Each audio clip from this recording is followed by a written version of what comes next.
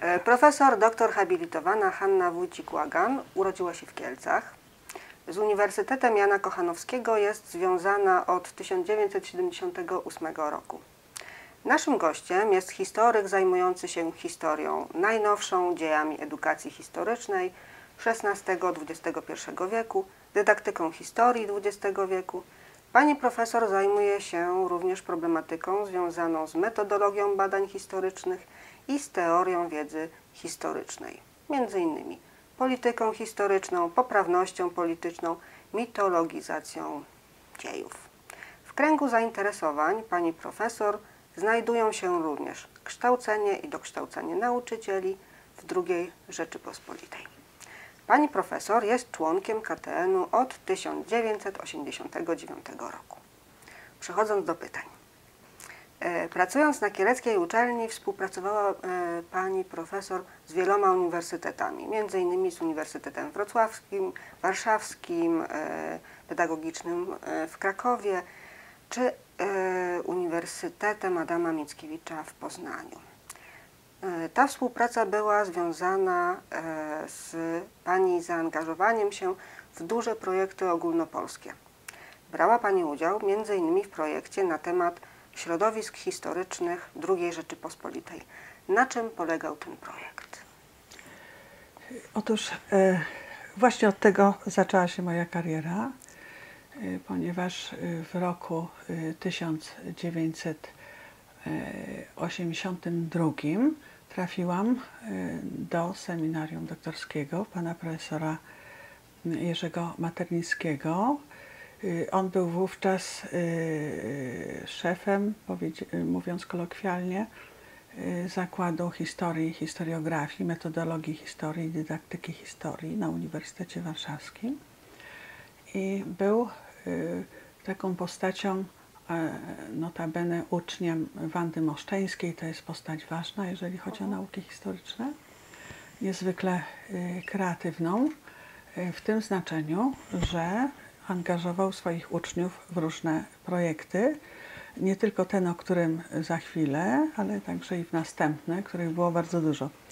I jeden z pierwszych projektów, który y, od którego zaczęła się moja, y, moje zajmowanie się nauką, to są właśnie te y, środowiska historyczne II Rzeczypospolitej. Wielka inicjatywa historyków wszystkich obszarów czy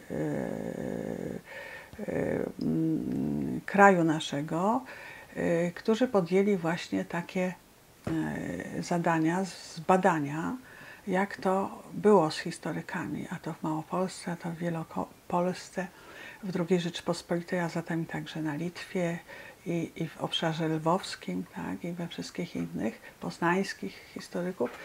I okazało się, że ten dorobek jest znaczący, jeżeli chodzi o II Rzeczypospolitą.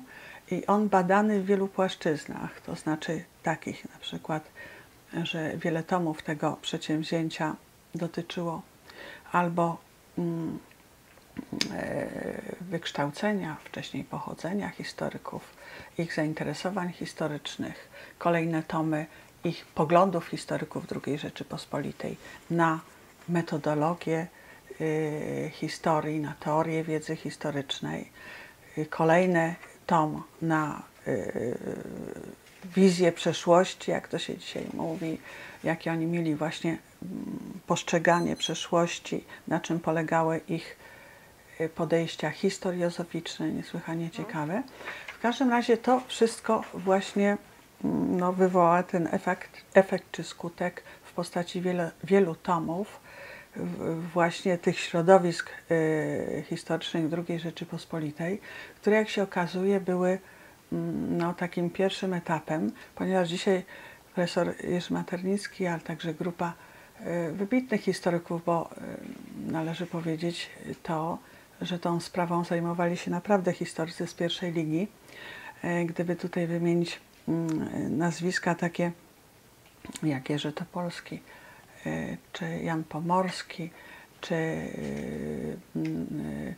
e, czy Władysław Serczyk, no wiele, wiele nazwisk, którzy, historyków, którzy zajęli się tym obszarem spraw dotyczących II Rzeczypospolitej, y, mało zbadanej, a dzisiaj wracając jako do tego zdania, gdzie powiedziałam, że miało to wielkie znaczenie, tak dzisiaj chcę zakończyć może mm, to zdanie tym, że mam przyjemność uczestniczyć w pracach, które zaowocują opracowaniem monografii dotyczącej historiografii II Rzeczypospolitej.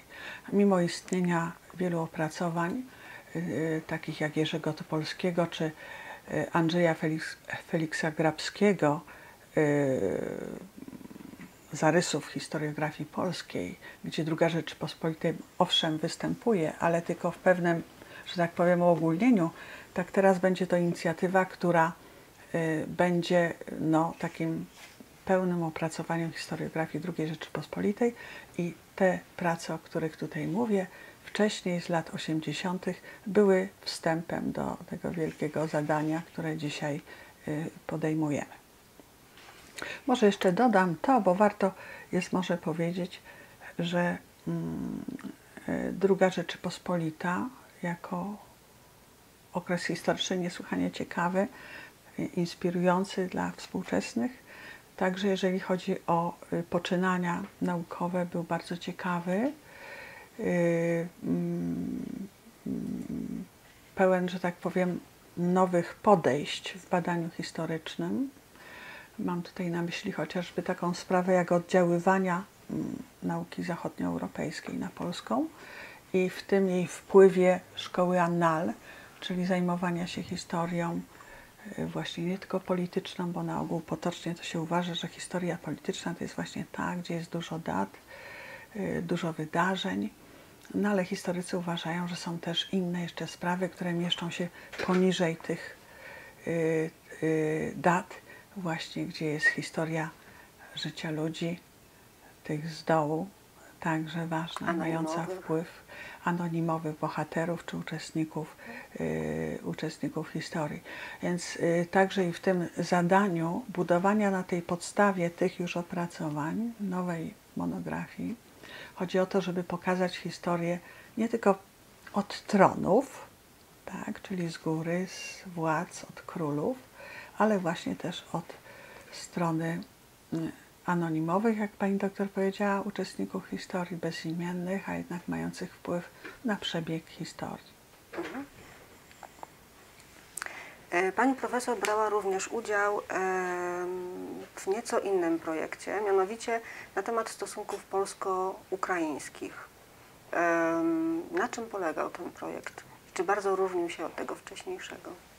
Otóż y, y, uczestnicy y, seminarium doktoranckiego, o którym wspomniałam, pana profesora Jerzego Maternickiego, uznali w pewnym momencie, że mm, podręczniki historyczne są dobrym źródłem, znakomitym rzeczywiście do dzisiaj, który pokazuje pewną wizję przeszłości. Ona oczywiście miała pewien wymiar edukacyjny i z tego tytułu może uproszczony, ale bardzo ciekawy.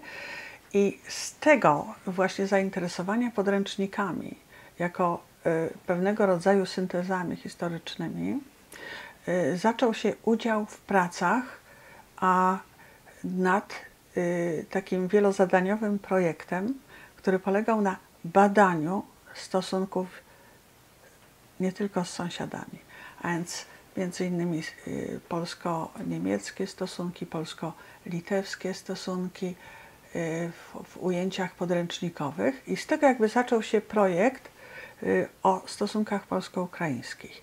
I on przybrał bardzo poważne rozmiary, ponieważ y, wymiar mm, tego zadania miał y, charakter wielonarodowy, no przede wszystkim polsko-ukraiński i on był bardzo zdeterminowany czy zdynamizowany wydarzeniami z początku lat 90. ubiegłego wieku, bo jak wiemy była rewolucja pomarańczowa, tak, i niepodległe państwo ukraińskie od 1991 roku. I to oznaczało wielkie otwarcie i wyzwanie dla historyków Polski i, i Ukrainy, żeby zobaczyć właśnie to sąsiedztwo, bardzo ciekawe pojęcie, notabene, właśnie w takich rozmaitych wymiarach. Y, a więc nie tylko polityczne uwarunkowania, ale i społeczne, ale i edukacyjne, ale i e, e, no, upowszechniające wiedzę historyczną o stosunkach polsko-ukraińskich, jakie ważne zadanie, żeby zrozumieć historię sąsiada, trzeba ją po prostu zwyczajnie poznać.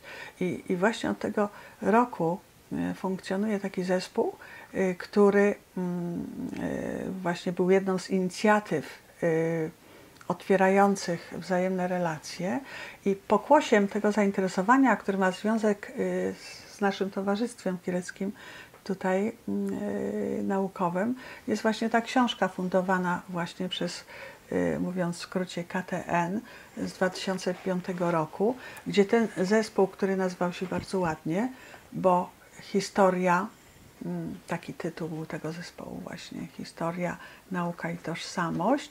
I pokłosiem tego jest właśnie yy, książka, która była, yy, której, yy, która była pokłosiem wielkiej konferencji tutaj, gdzie mogliśmy gościć historyków ukraińskich, profesora Leonida Zaszkilniaka, między innymi znakomitego właśnie w tej pracy z historykami polskimi o tłumaczeniu czy wyjaśnianiu stosunków polsko-ukraińskich. Tutaj w tym otwarciu kieleckim rzecz polegała na tym, żeby pokazać, na czym polegały właśnie stosunki polsko-ukraińskie y, właśnie w wymiarze edukacyjnym, ale i szerzej może, co to znaczyło właśnie w XIX wieku, co to znaczyło w XX wieku, co to znaczyło w XXI wieku. Szkoda tylko, że, że czas polityczny, który mamy dzisiaj, jak gdyby mm, e, ma wpływ oczywisty na to, jak wyglądają te zadania dzisiaj. Ale chcę powiedzieć, że zespół stosunków polsko-ukraińskich istnieje nadal i historyków nie dotyczą różne zawirowania, bo oni mają właśnie to zadanie badania, wyjaśniania i, i tak polscy, jak i y, ukraińscy historycy znakomicie w tym funkcjonujemy i rozumiemy się nawzajem i może to jest ta wartość y, dodana, taka mianowicie, że poza jakimiś uwarunkowaniami szerszymi i wpływami y, rozmaitymi, politycznymi, propagandowymi, nauka kwitnie, jeżeli chodzi o stosunki polsko-ukraińskie i tylko w tym wymiarze o tym mówiłam, a mogę mówić o wymiarze również takim, że istnieją komisje o Y, o, dotyczące spraw podręcznikowych, na przykład dotyczące obu w tym wypadku narodów polskiego i ukraińskiego. Czyli inicjatywa trwa nadal, corocznie odbywają się konferencje, y, bardzo ciekawe, interesujące, wiele wyjaśniające. Rzecz tylko, żeby wszystko to przebiło się do świadomości tak, y, społecznej. No na to potrzeba czasu, sądzę i też otwartości mediów na treści, które my, historycy, badamy i do których dochodzimy. No bo właściwie my, krąg historyków o pewnych rzeczach ważnych e, wie, natomiast e, tych informacji no właśnie, nie wiadomo brakuje. od kogo powinna wychodzić inicjatywa. Historycy coś piszą, coś publikują, spotykają się, a z drugiej strony powinno być zainteresowanie właśnie mediów tak. Właśnie tą sprawą. Gdyby zgrać te dwie rzeczy, byłoby idealnie. Tak, i jeszcze jeden element, który należy wyeliminować, czyli wpływ bieżącej polityki na postrzeganie. Myślę, że będzie okazja, żeby jeszcze o tym dzisiaj mówić. E, no właśnie, e, która z Pani profesor książek kosztowała najwięcej pracy? I, mm, z którą... Zaangażowania, tak? Zaangażowania mhm. i e, może która jest najbliższa sercu Pani profesor? Wszystkie y, książki, które się pisze, są najbliższe sercu, ponieważ one wymagają wielkiego zaangażowania. I w zasadzie mogłabym y, odpowiedzieć w ten sposób na to pytanie, ale może odpowiem trochę inaczej. Otóż mm, y, w pewnym momencie swojej jakby kariery zawodowej mm, interesowałam się różnymi kierunkami w nauce historycznej, które pozwalały podejść do historii nieco inaczej, nie stereotypowo, nie właśnie w takim myśleniu yy, yy, yy, przyczyny, przebieg, skutki w sensie jakichś wydarzeń historycznych, ale miałam takie zainteresowanie, mm, może trochę przewrotne, psychohistorią. y, to jest taka y, subdyscyplina nauki historycznej, która miała y, różne koleje losu swoich zwolenników i przeciwników. Można powiedzieć coś takiego i zaryzykować, że jak gdyby pionierem takich badań psychohistorycznych, mówiąc inaczej, wejście do takich spraw jak psychika, życie domowe ludzi, Y, y, domowe w sensie wychowania, wartości, jakie tam zdobywano, jak one się przekładają na życie współczesne ludzi, wśród których są decydenci, na przykład politycy, tak. No i y, był taki Jan Karol Kochanowski, właśnie na początku XX wieku, historyk średniowiecza, który zajął się takimi właśnie sprawami.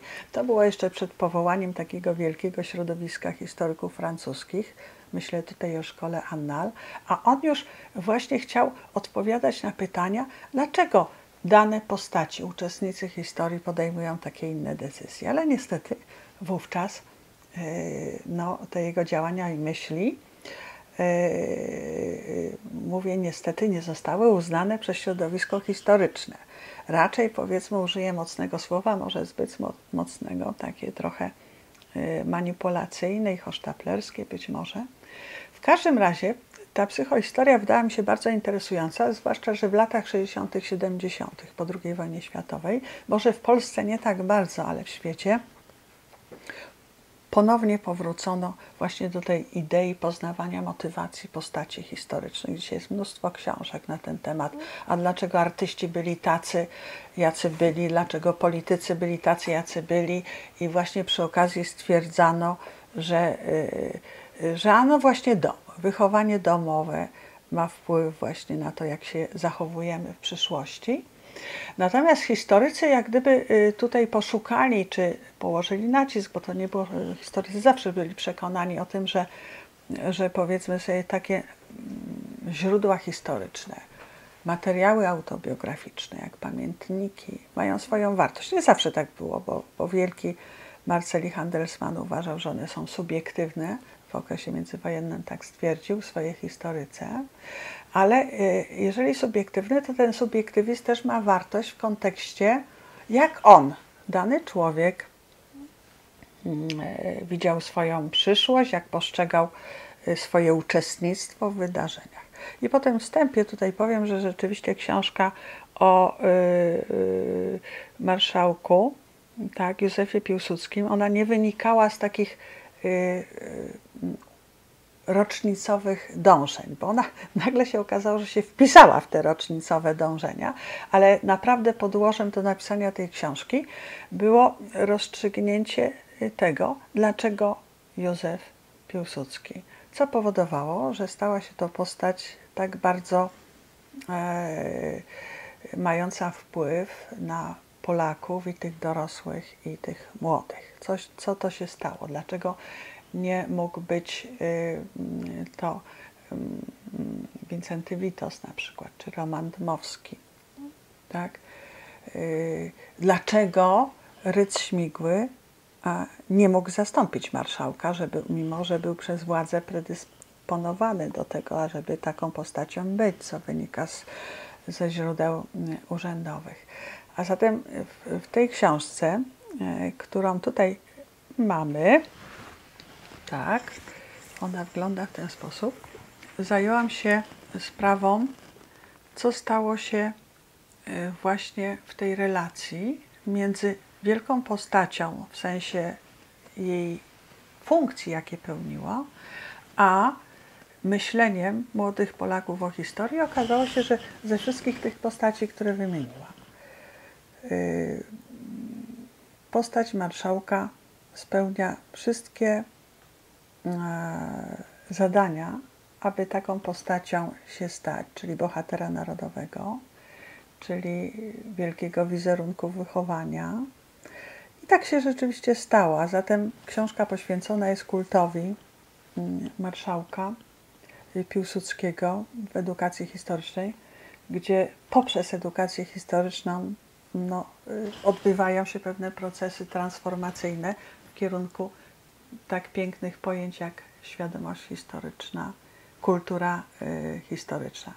Naturalnie y, nie było to też takie proste, ponieważ marszałek był piękną postacią, ale miał swoich przeciwników i ci przeciwnicy mieli też argumenty, ponieważ marszałek nie był postacią idealną, ale pozwolę sobie tutaj powiedzieć coś takiego, że wcale postać narodowa nie może być postacią idealną, ponieważ postaci idealnych nie ma.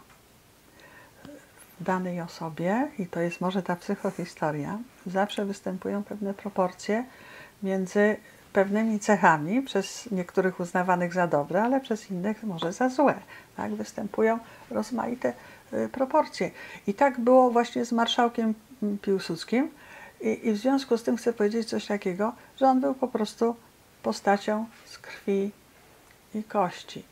To znaczy y, y, niezwykle charyzmatyczną, skupiającą w sobie i pozytywy, i negatywy, i może to uwiodło y, właśnie Polaków, i może mm, żeby wyostrzyć właśnie to pojęcie, które jest tytułem tej książki, to przecież można powiedzieć coś takiego, że nawet a,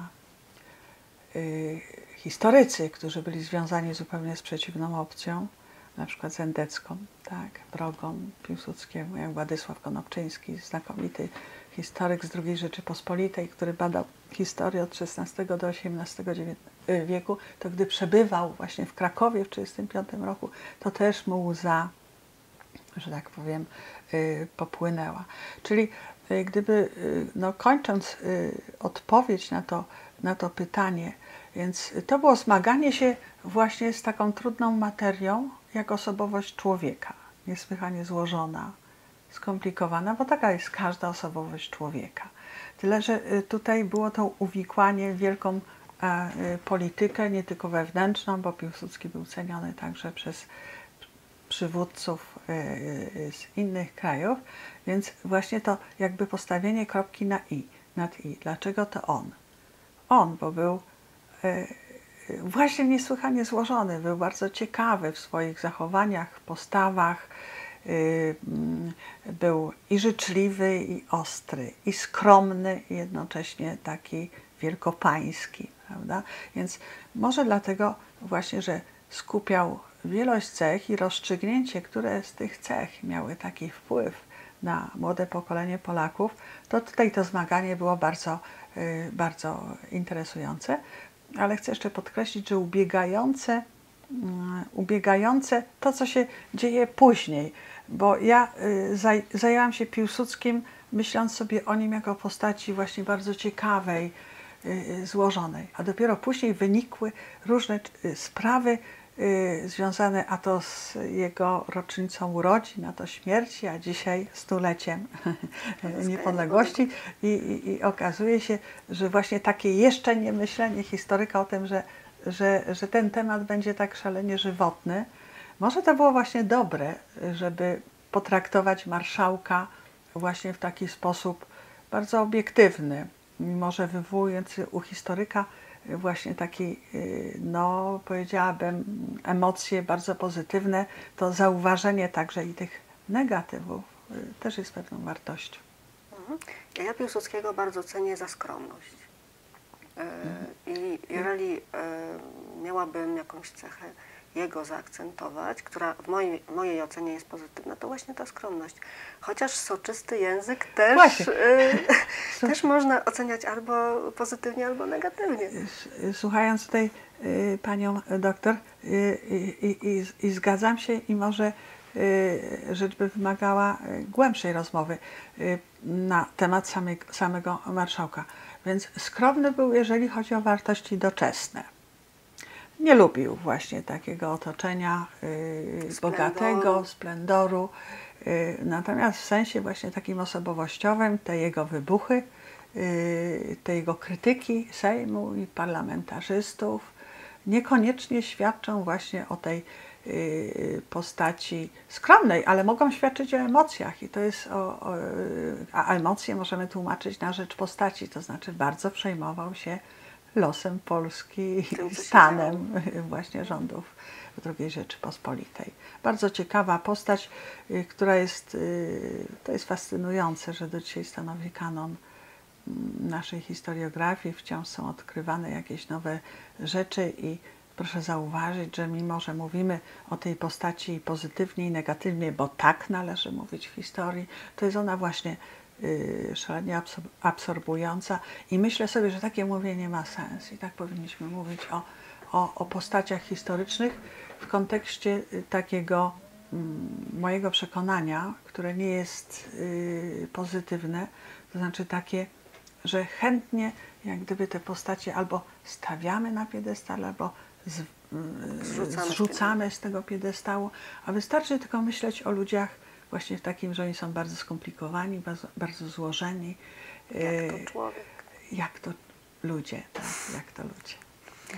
E, Wśród e, Pani profesor zainteresowań mnie jeszcze zainteresowała pewna, mm, pewne powiązanie między nauką historyczną a polityką.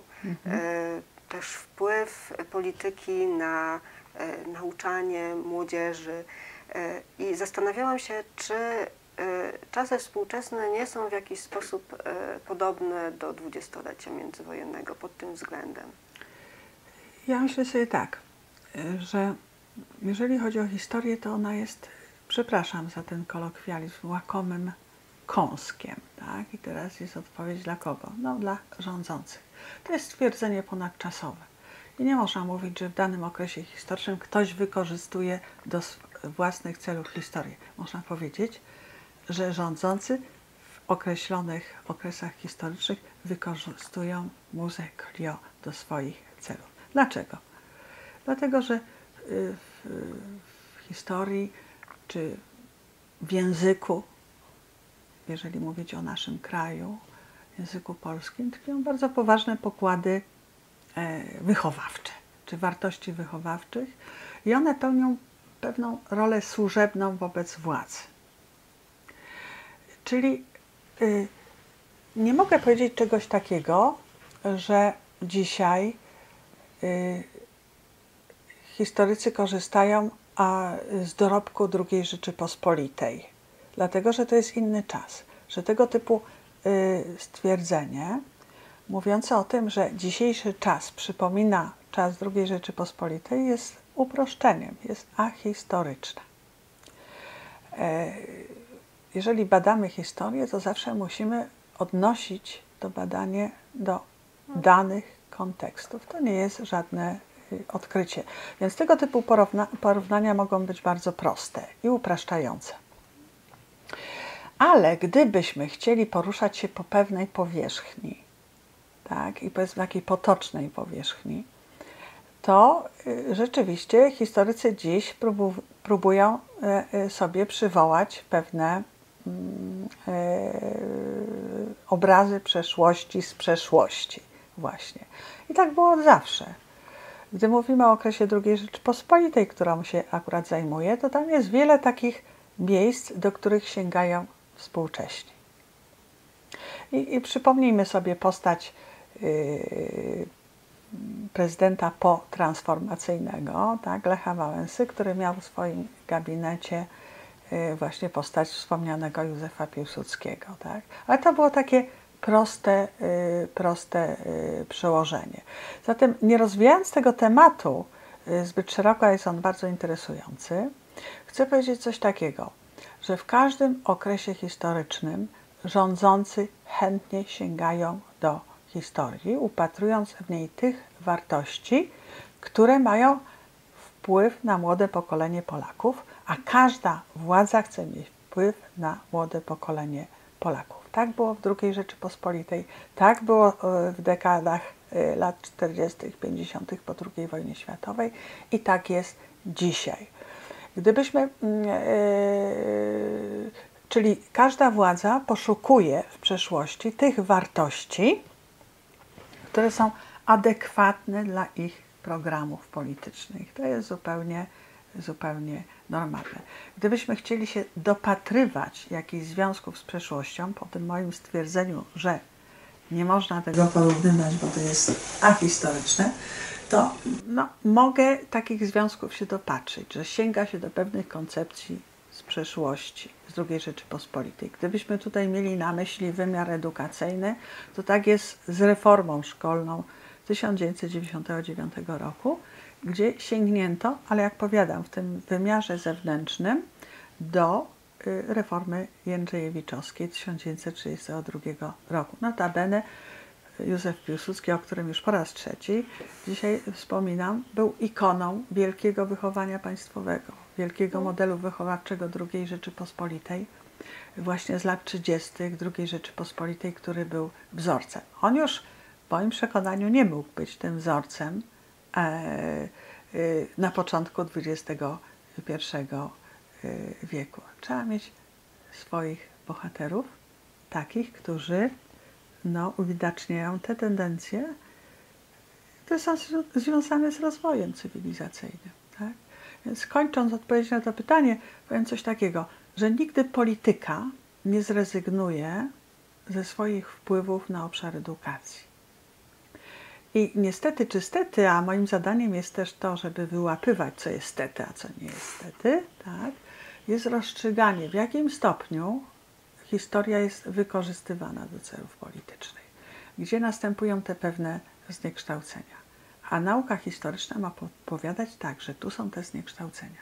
I to powinno mieć przełożenie na edukację.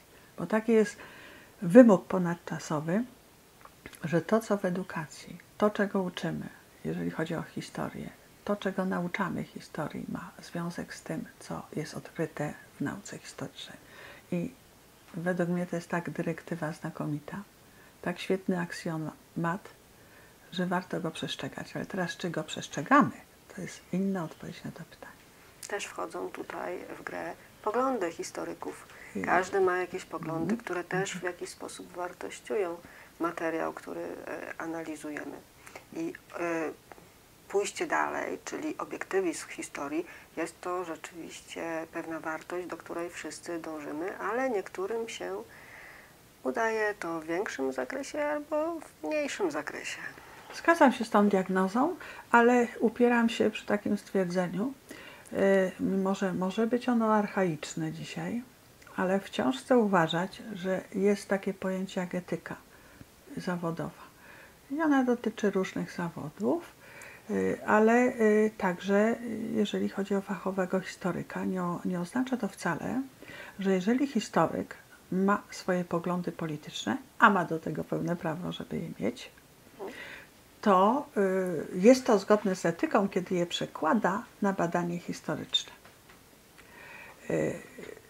Jest już, że tak powiem, umiejętności pewne warsztatowe, które nakazują pewne zachowania, postaw badawczych, które y, y, wykluczają y, napływy, że tak powiem, światopoglądowe. Ponieważ gdy historyk próbuje zastosować swoje przekonania polityczne do badań historycznych, przez jakiś czas mu się to udaje, ale w pewnym momencie następuje załamanie. Wtedy, kiedy inni historycy zweryfikują jego badania i wykryją pewne mm, nadużycia. Więc jest coś takiego jak warsztat badawczy historyka, który nakazuje obiektywizm, wielkie pojęcie, chyba nie ten moment, żeby rozstrzygać, który jednak pozwala na dzisiejszym, czy w dzisiejszym statusie metodologii historycznej na rozstrzyganie, czy ktoś nadużywa historii, czy nie nadużywa. Ja tutaj uzupełniając to stwierdzenie pani doktor o tym, że historycy podlegają wpływom politycznym, z tym się zgadzam. Mało tego, jeżeli chodzi o obszar, obszar edukacyjny, historycy o różnych poglądach politycznych piszą podręczniki historyczne. Proszę zauważyć, jak tutaj jest wielki wpływ właśnie poglądów autorów, historyków. Tak być nie powinno, ale jest. Ale zadaniem historyka, może takiego jak ja, jest właśnie rozstrzyganie, z jakich pozycji autor zechciał interpretować dzieje. Może z takich, może z takich, może z takich. Trzeba o, po tym po prostu mówić. Co nie pozostaje w sprzeczności i powtarzam tą dyrektywę yy, z pewnym uporem, że rzeczywiście mm, fachowym takim przesłaniem e, y, narratorów wiedzy historycznej powinno być właśnie pokazywanie złożoności procesu historycznego w rozmaitych uwarunkowaniach, bez nachylenia właśnie propagandowego. To jest trudne, ale możliwe do zrobienia. Mhm. I właściwie zostało nam jeszcze tylko jedno pytanie, ostatnie, dotyczące Kieleckiego Towarzystwa Naukowego, y, z którym pani profesor jest związana od lat, jak już, Mhm. jak już y, zauważyłam na początku. Y, I mm, jaką rolę w rozwoju popularyzacji nauki w Kielcach i w regionie świętokrzyskim odegrało Kieleckie Towarzystwo Naukowe, według pani profesor? A y, mm, jakby mój pierwszy kontakt z, y, z Kieleckim Towarzystwem mm, Naukowym nie wiąże się z rokiem takim, w jakim ono powstało. To był przełom 1957-2008 roku, bo wtedy, że tak powiem, y, tylko byłam troszeczkę obecna, jeżeli o, o proces, ale kiedyś proces historyczny, mm, ale kiedyś y, mm, pani doktor opowiadałam taką historię, e, która wiąże się właśnie z powstaniem Kieleckiego Towarzystwa Naukowego i z taką mm, kartą pocztówkową z 1958 roku. I tę kartkę napisał bardzo wybitny historyk. Jednej z pierwszej, y, historyk z pierwszej ligi historyków. Bardzo lubię to stwierdzenie, świetne. Mianowicie mm, był taki historyk, który y, był współtwórcą Uniwersytetu Poznańskiego w, w 1918 roku i mm, no, pracował oczywiście na tym uniwersytecie, ale jak wybuchła wojna, wkroczyli Niemcy, to Uniwersytet y, Poznański musiał się ewakuować. I, I ewakuował się do Warszawy i tam mm, jak gdyby y, powstała nowa jakość w postaci y, mm, Tajnego Uniwersytetu Ziem Zachodnich. Jak gdyby ten Uniwersytet Poznański wpisał się zupełnie w nową jakość. A więc Tajny Uniwersytet Ziem Zachodnich. Ten Tajny Uniwersytet Ziem Zachodnich, on się rozrastał w postaci właśnie takich mm, mm, poprzez y, historyków, ale nie tylko historyków, wszystkich ludzi nauki, którzy docierali do różnych miejsc, do takich miejsc, gdzie rzuciły ich losy, że tak powiem, wojenne. I, i tutaj na Kielecczyznę, konkretnie do Bolbina, mm, y, właśnie y, tego wybitnego historyka średniowiecza rzuciły losy wojenne i Kazimierz Tymieniecki właśnie był w Bolminie y, y, w domu y, państwa Braunów, gdzie przejmował y, wybitnych historyków, y, którzy robili doktoraty, wtedy mam na myśli Gerarda Labudę na przykład. No i on się tak wpisał w ten y, Kazimierz Tymieniecki, ale nie tylko jako historyk, ale jego żona, która uczestniczyła w tajnych maturach, była matematykiem, przyrodnikiem. Tak mocno w ten czas II y, wojny światowej tutaj na tym obszarze, że jak powstawało Kieleckie Towarzystwo Naukowe, to uznano, że właśnie jest to postać, która powinna być honorowym członkiem. I zachowała się właśnie taka kartka, mm, y, gdzie Kazimierz Tymieniecki właśnie gratuluje właśnie inicjatywy. I ponieważ ja się zajmowałam profesorem Kazimierzem Tymienieckim i to był mój debiut historyczny, tak więc widziałam tę kartkę i to był ten początek. I zawsze już wiem, kiedy powstało Kieleckie Towarzystwo Naukowe. I z tą y, właśnie taką świadomością do dzisiaj, że jest to y, towarzystwo, które y, istniało wiele dekad. Miało swoje fazy, pisali tam o tym między innymi pan profesor Nasalski, który wyszczególniał właśnie te etapy. Bardzo ciekawe inicjatywy regionalne, świetna sprawa z lat 60 y, kiedy KTN zajmował się takimi inicjatywami. Y, No to jest po wojnie, to jest ten pierwszy czas, kiedy, kiedy uznano, że historia regionalna jest czymś ważnym w nauce historycznej, bo, bo, bo, bo historię regionalną uważa się za taką młodszą córkę czy młodszą sor- siostrę wielkiej historii. To ładnie powiedziane jest, Y, ale ona rzeczywiście się musi przebijać bardzo mocno.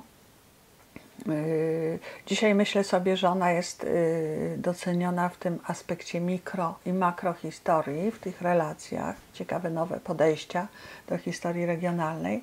Więc był ten etap właśnie może trochę amatorski, jeżeli chodzi o Kieleckie Towarzystwo Naukowe, no ale już dzisiaj y, y, naukowcy, którzy prowadzą badania w różnych y, dyscyplinach nauki, bardzo ciekawe i y, myślę sobie tak, że nie ma lepszej rece- recepty na funkcjonowanie takiego towarzystwa, bardzo ciekawego w naszym tutaj przypadku kieleckim, a mam możliwość porównania co Lu- co Lublin w tej sprawie i Gdańsk akurat w tej sprawie.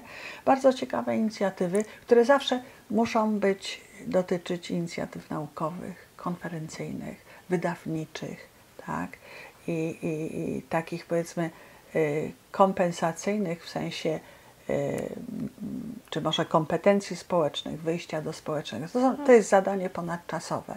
Rzecz tylko, jak to wypełniać, a czas się zmienia. Są rozmaite podejścia cywilizacyjne i one wymagają zmian. Ale tak, taki podmiot, bardzo ciekawy, y, który jest wyjściem do upowszechniania, bo ludzie powinni więcej wiedzieć o historii, a wiedzą o, coraz mniej o historii. I to jest y, no, świetna sprawa, żeby utrzymywać taki podmiot bardzo, y, bardzo y, atrakcyjny. Zresztą moje y, życie naukowe jest takie y, w ciągłych związkach i pewnych rozluźnieniach, jeżeli chodzi o Kieleckie Towarzystwo Naukowe, bo byłam i uczestnikiem y, konferencji i, i głosiłam wykłady, uczestniczyłam w wykładach innych i nie tylko historyków, bardzo ciekawych i, i uważam, że e, właśnie w tym zadaniu nie tylko uprawiania nauki, ale ogromnie ważnym zadaniem upowszech, upowszechniania czegoś takiego, co się nazywa kulturą historyczną. Świetna sprawa, o której to też jest takie pojęcie, które zaczyna trącić myszką, co mnie martwi, ale to jest takie zadanie, wydaje mi się, ciągłe, ważne, więc żyj towarzystwo dalej pracuj tak, jak pracujesz i rozwijaj się. E, A jakie inicjatywy pani profesor pamięta może? Jakie osoby związane z Kieleckim Towarzystwem Naukowym? Y, y, y, No więc tutaj, jeżeli chodzi o wspomnianego przeze mnie Kazimierza Tymienieckiego, to nie, bo on już nie żył, ale poznałam już tam, śledząc jego losy i żonę i, i trzy córki, które były głęboko zainteresowane właśnie Kieleckim Towarzystwem Naukowym. Y, Więc tutaj ten początek rzeczywiście sięga, y, czy, czy wspomnienia sięgają y, y, no, źródeł y, powstania towarzystwa. Ale ja uczestniczyłam mm, y, w takich y, tutaj inicjatywach, między innymi podejmowanych przez panią profesor Renz panią profesor Menducką. Y, y, O one- relacjach polsko-żydowskich. Właśnie, ja tutaj w tym aspekcie także edukacyjnym zajmowałam się problemem polsko-żydowskim.